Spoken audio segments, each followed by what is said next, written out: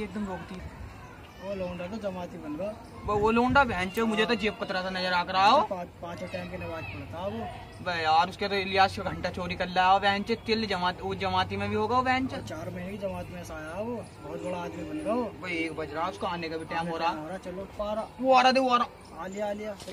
कर दी। भाई हमारी बमात तो पल लग रहा है यार हो हो। हैं? हो जा रहा देखो जा रहा